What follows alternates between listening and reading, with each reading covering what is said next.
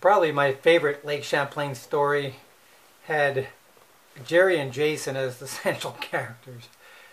And uh, on this occasion, it was a late morning and we were playing croquet. And uh, Jeff and I and Jason and Jerry. And I don't think we were playing teams. In fact, I know we weren't playing teams. It was individual uh, competition. And uh, we, we were all very competitive and uh, you know, the fact we were older, we didn't let the younger ones win. There was none of that, you know. So, you know, Jerry's at the end of the line. He he never won anything. That's just the way it went. You know, if you want to win, you got to get better. That was kind of how we were. And so, um, we, you know, we played a few games. We, you know, we had played a few times already on that on that trip, and so um, we're out there again.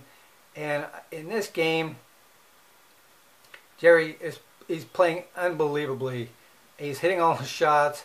And uh, meanwhile, the, the, rest of us, we're doing okay. But you know, every time somebody gets ahead a little, you know, one of the things in croquet, if you make contact with an opponent's ball with your ball, you get to place your ball behind it and then you know hit your ball with the other one against it, and you can launch that ball as, as far away as you as you can. And uh, and that obviously makes it tougher for them to come back. So. Uh, you know, if you don't understand how croquet works, basically you have to go through all these different wickets, and then at the very end, a final two set of wickets, and then hit this stake at the end. The first one to do that, right? So it's almost a little bit of an obstacle course kind of a thing.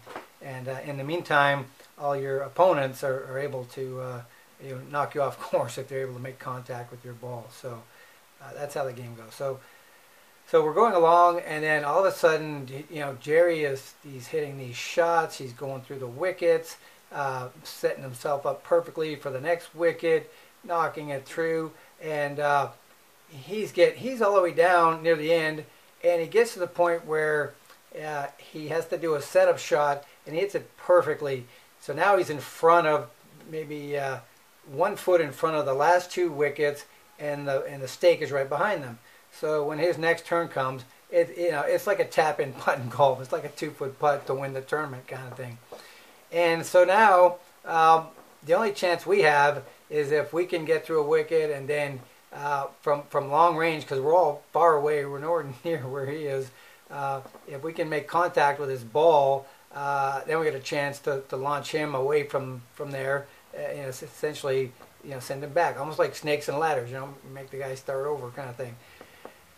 And so, uh, you know, Jeff and I, you know, fail at trying to uh, make any progress. We, we didn't come close hitting him. And now, so it comes down to Jason. He has the last chance and Jason's about 35 feet away uh, from Jerry, his ball, and uh, and it's uneven ground. You know, it's not like a putting green on a golf course, and so he's got to hit this shot. If he doesn't hit Jerry's ball with his ball, uh, basically Jerry's going to tap it in and he's going to win. And course, Jerry's got great anticipation. He's never at anything, so he's just chomping at the bit to, to make this final shot.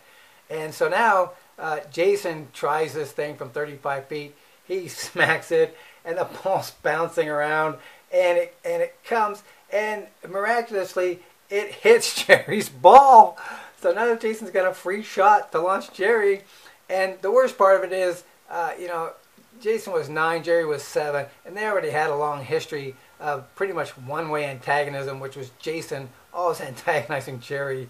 Uh, I mean, it was it was endless uh, to the point where, as adults, I remember Jason actually apologizing to Jerry for, for how he treated him as a child. He actually confessed one summer uh, it was his goal every day to make Jerry cry.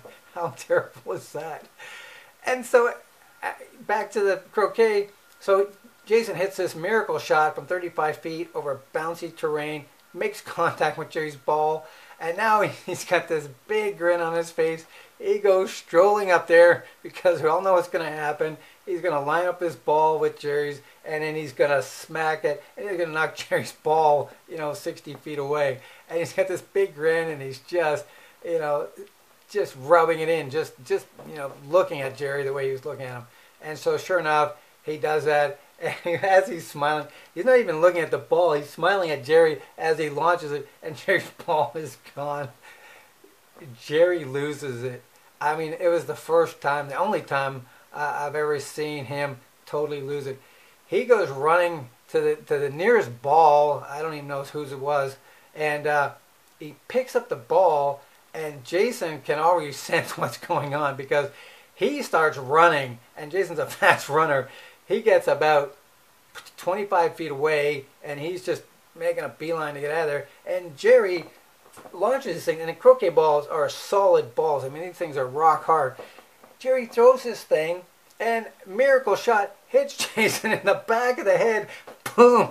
He goes down like a ton of bricks, and he's lying there holding his head. And then Jerry runs off. He knows he's going to be in big trouble for throwing this croquet ball, and uh, that's that's the standout memory from the Lake Champlain trip that year was uh, uh, Jerry with this amazing throw to conk Jason on the head, and uh, he didn't win croquet, but uh, I, think he'll take the uh, you know the accuracy of that last throw as a as a lasting memory a little bit of revenge on his older brother.